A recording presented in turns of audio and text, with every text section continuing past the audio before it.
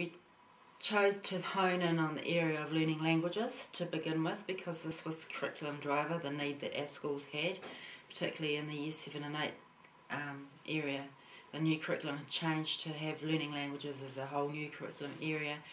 And schools were really under an obligation to provide that for their students. And for many schools it's just not realistic. They don't have the skills the expertise the time um, the knowledge to be able to do that so learning languages was the key area we um, chose to focus on first